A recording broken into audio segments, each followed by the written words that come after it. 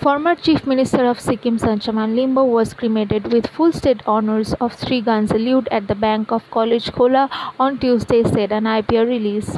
Chief Minister of Sikkim Prem Singh Tamang paid the last tribute by laying wreath and offering prayers to Sanchaman Limboo at his native place at Hee Gaon earlier on Tuesday morning. The DY Speaker, Sikkim Assembly ministers, MLAs and members of Lok Sabha attended. The funeral procession proceeded to the College Khola crematorium from his native place Hee Gaon at 10:30 am. Prem Singh Tamang and all the dignitaries joined the final procession with hundreds of well-wishers and villagers. Limboo passed away on November 8 at the age of 73 after a prolonged illness.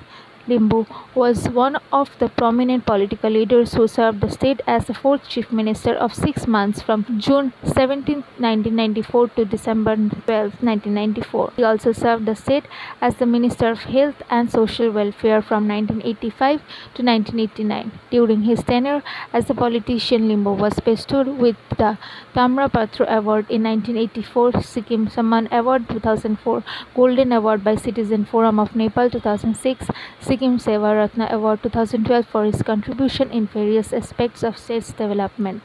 The state government declared a holiday on Tuesday.